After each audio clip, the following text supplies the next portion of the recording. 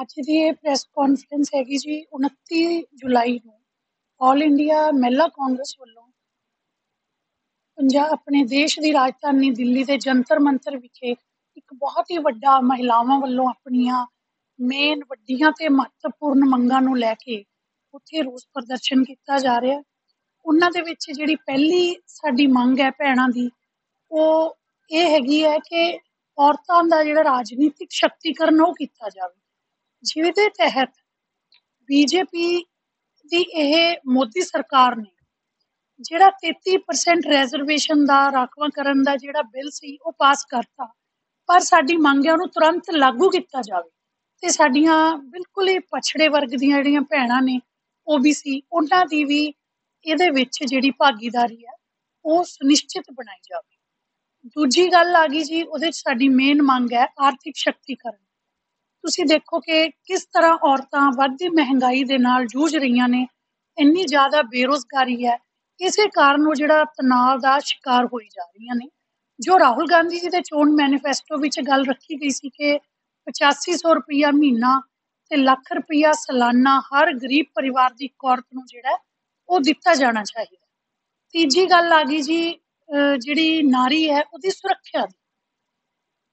ਬਿਲਕੁਲ ਵੀ ਇਸ ਦੇਸ਼ ਦੇ ਵਿੱਚ ਔਰਤਾਂ ਸੁਰੱਖਿਅਤ ਨਹੀਂ ਹੈਗੀਆਂ ਜੋ ਅਸੀਂ ਭੈਣਾਂ ਮਹਿਸੂਸ ਕਰ ਰਹੀਆਂ। ਕਿਉਂਕਿ ਰਾਜਸਥਾਨ ਦੇ ਵਿੱਚ 6 ਮਹੀਨੇ ਤੋਂ ਇਹਨਾਂ ਦੀ ਸਰਕਾਰ ਬਣੀ ਹੈ ਤੇ 20000 ਜਿਹੜੇ ਅਪਰਾਧਿਕ ਮਾਮਲੇ ਨੇ ਔਰਤਾਂ ਦੇ, ਉਹ ਸਾਹਮਣੇ ਆਏ ਨੇ। ਤੇ ਉਹਨਾਂ ਦੇ ਮੰਤਰੀ ਸਾਹਿਬ ਕਹਿ ਰਹੇ ਨੇ ਕਿ ਉਤਪੀੜਨ ਦੇ ਕੇਸ ਜਿਹੜੇ ਨੇ, ਉਹ ਕਾਫੀ ਘਟ ਗਏ ਨੇ।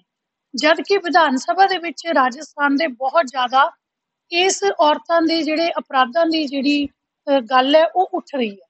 ਸੋ ਜਿਵੇਂ ਦੇਖੋ, ਹੁਣੀ ਤਾਜ਼ਾ ਉਦਾਹਰਨ ਮੈਂ ਦਿੰਨੀ ਆ, ਮੱਧ ਪ੍ਰਦੇਸ਼ ਦੇ ਰੀਵਾ ਦੇ ਵਿੱਚ ਦੋ ਭੈਣਾਂ ਜੋ ਆਪਣੇ ਹੱਕ ਦੀ ਮੰਗ ਕਰ ਰਹੀਆਂ ਸੀ, ਉਹਨਾਂ ਨੂੰ ਜ਼ਮੀਨ ਦੇ ਵਿੱਚ ਜਿੰਦਾ ਗੱਡਤਾ ਜਿਹਦੇ ਨਾਲ ਸਾਡਾ ਸਾਰਾ ਦੇਸ਼ ਸ਼ਰਮਸਾਰ ਹੋਇਆ।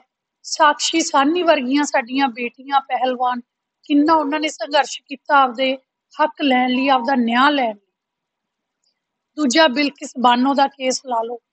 ਹੋਰ ਪ੍ਰਜਵਲ ਰਵੰਨਾ ਤੇ ਵੀ ਮੈਂ ਪੀਸੀ ਕੀਤੀ ਸੀ, ਉਦੋਂ ਕਰਨਾਟਕਾ ਦੇ ਜਿਹੜੇ ਮੰਤਰੀ ਨੇ ਜਿਹੜੇ, ਉਹਨਾਂ ਨੇ ਹਜ਼ਾਰ ਔਰਤਾਂ ਦੀ ਜਿਹੜੀਆਂ ਅਸ਼ਲੀਲ ਵੀਡੀਓਜ਼ ਬਣਾ ਕੇ ਆਪਦੇ ਕੋਲ ਰੱਖੀਆਂ ਤੇ ਮੋਦੀ ਜੀ ਨੇ ਉਹਨਾਂ ਦੇ ਬੇਟੇ ਨੂੰ ਉੱਥੇ ਟਿਕਟ ਦਿੱਤੀ ਤੇ ਸਟੇਜ ਸ਼ੇਅਰ ਕੀਤੀ ਵੋਟਾਂ ਦੇ ਦੌਰਾਨ ਕਿ ਤੁਸੀਂ ਇਹ ਸੋਚੋ ਕਿ ਇੱਕ ਇੱਕ ਵੋਟ ਮੈਨੂੰ ਪੈ ਰਹੀ ਹੈ।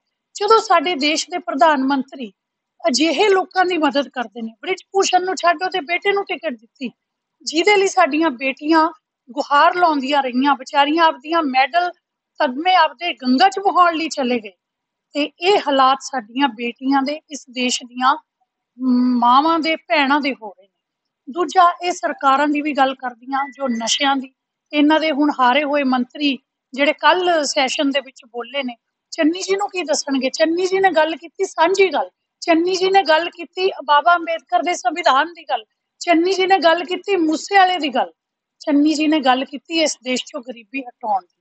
ਤੇ ਇਹਨਾਂ ਦੇ ਹਾਰੇ ਹੋਏ ਬੰਦੇ ਮੰਤਰੀ ਬਣਾ ਕੇ ਜਿਹੜਾ ਉੱਥੇ ਬੋਲ ਰਹੇ ਨੇ, ਬੋਲਣੋਂ ਪੰਜਾਬ ਦੀ ਗੱਲ, ਬੋਲਣ ਉਹ ਨਸ਼ਿਆਂ ਦੀ ਗੱਲ ਕਿ ਕਿਸ ਤਰ੍ਹਾਂ ਮਾਵਾਂ ਦੇ ਪੁੱਤ ਜਿਹੜੇ ਨੇ ਉਹ ਇਸ ਦੁਨੀਆ ਚੋਂ ਅਲਵਿਦਾ ਕਹਿ ਕੇ ਜਾ ਰਹੇ ਨੇ।